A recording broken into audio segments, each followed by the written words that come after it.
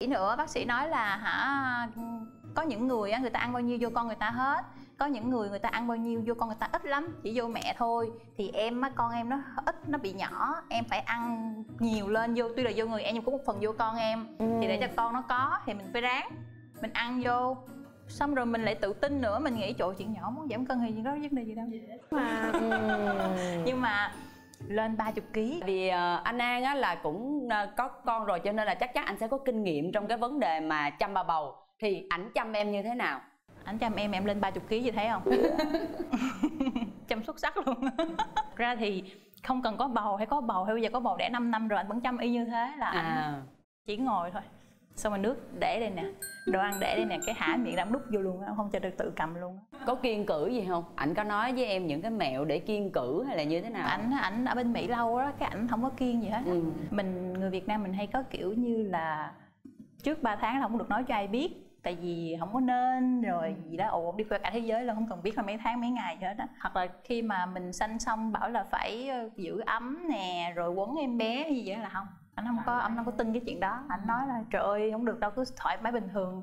Nên là anh không có tin. Vậy thì chị hỏi em nha bây giờ em không có stress vì cái chuyện mang bầu và em cũng không có quá căng thẳng về cái việc mình ở trong thai kỳ nhưng mà số cân thì nó lên mỗi ngày và cái công việc của mình là cái công việc ừ, biểu diễn. Ừ. cái hình ảnh nó rất là quan trọng và tại thời điểm đó em vẫn còn định là sinh xong em đi làm lại mà. Thật ra thì tại vì em chưa bao giờ mặc trong cuộc đời mình hết trơn á em chỉ mặc lúc em có bầu thôi cho nên à. em nghĩ rằng đó là trời sinh mình ra mình luôn luôn ốm rồi mình có một cái đặc nghĩ là trời độ em hoài vậy luôn em nghĩ là trời độ em hoài luôn á. em nghĩ là trời ơi chuyện nhỏ đẻ xong một phát nghệ nhịn ăn một tuần hay hai tuần là ốm lại liền mà chị ha. Dễ ốm quá trời có gì đâu. Nhưng là người mẫu sẽ có những cái bí quyết riêng nữa. Dễ dàng lắm không có gì hết không có gì phải lo lắng hết cứ thoải mái vô tư lên. Ai biết ra sao ngày sau? Ai biết ra sao ngày sau? rồi uh, bác sĩ nữa bác sĩ nói là hả có những người á người ta ăn bao nhiêu vô con người ta hết. Có những người người ta ăn bao nhiêu vô con người ta ít lắm chỉ vô mẹ thôi. Thì em á con em nó ít nó bị nhỏ em phải ăn nhiều lên vô tuy là vô người em nhưng có một phần vô con em. Ừ. thì để cho con nó có thì mình phải ráng mình ăn vô. Xong rồi mình lại tự tin nữa mình nghĩ chỗ chuyện nhỏ muốn giảm cân thì có vấn đề gì đâu. Mà nhưng mà lên 30 kg lên 30 kg xong rồi à, xanh xong nó cũng xuống nhiều lắm á. Em nghĩ xanh xong cũng xuống luôn xuống hẳn mười mấy hai mươi kg luôn. Nhưng mà mập là mập lúc sau này lúc mà cho con bú á. Đúng rồi. À, xong cái đói bụng. Ừ, nó đói bụng nó đói bụng dã man luôn con em bú đây là em muốn ăn lúc con con ăn bú luôn á. Nó đói quá trời đói luôn. Ăn nhiều ăn nhiều vô xong cái con nghỉ bú. Mà cái lượt ăn của mình nó vẫn như thế. Mình vẫn đói bụng ngộ lắm. Xong rồi mình lại ăn nhiều quen rồi nữa. Cái mình lại nghĩ cũng chưa cần giảm cân nó đi làm lại đâu mà. Chưa đi làm mà. Ừ. đúng không? Chưa đi làm mà. Thôi khoan đi từ từ chưa có định vai hai người hai người để chạy nhanh quá. Mình phải từ từ từng lớp từng lan đàng hoàng. Rồi. cho khán giả người ta nghe nữa. Bây giờ từ đúng rồi mang bầu khỏe ru không có gì hết trơn toàn là tận hưởng thôi. Rồi bây giờ tới lúc đi đẻ nè. Cái ngày hôm đi đẻ nó như thế nào? Ôi em em bầu lâu lắm chắc bầu sướng quá bầu lâu 41 tuần vẫn chưa có đẻ. Không ờ. đẻ luôn trời lâu rồi lâu. Bầu sướng quá bầu lâu bầu không đẻ. cái đoạn 40 mốt tuần á chị ước gì là đẻ một phát cho xong cho nó khỏe người cho rồi nó mệt khủng khiếp luôn mà cứ chờ hoài luôn á. Xong cái bị bị ảo tưởng là mình sắp đẻ tới nơi cái đau bụng. Đau bụng quá trời nói em đau bụng quá đau bụng quá đẻ rồi đẻ rồi đi đẻ thôi. Mừng quá. Ừ. cái trả lên bình dương em sanh ở hạnh phúc mà. Lên bình dương bác sĩ nói đâu có gì đâu không có dấu hiệu gì hết á đi về.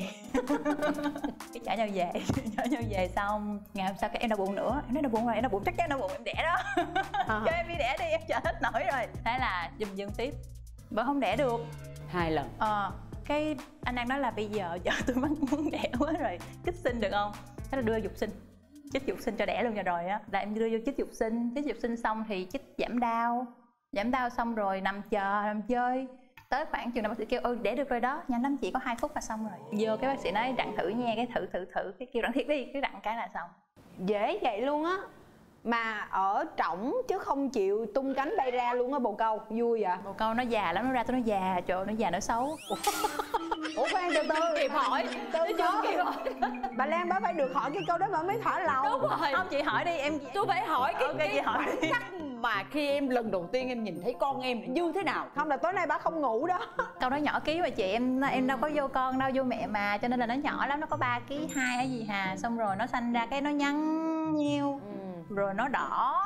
Nó không có trắng gì hết á tưởng lúc đẻ ra phải trắng bóc người ta mới sanh mà trời á Ôi, hồi lúc mà em có mấy bạn á, sơ sinh mà biết nói cho mấy bạn giận chương trình này lắm luôn á. No, hồi lúc em có bầu mẹ em nói là phải uống dừa tươi cho nó trắng. Xong rồi ăn hộp vịt lộn cho nó có nhiều tóc, cho nó Ừ. đẹp. Ồ em muốn cho phải chăm giấy dừa, chăm cái hộp vịt lộn không? Ồ em muốn cho phải chăm giấy dừa, chăm cái hộp vịt lộn không? Dữ lắm luôn, nhiều lắm luôn, nó đẻ ra đâu có tác dụng gì đâu. Nó cũng đen, xong rồi.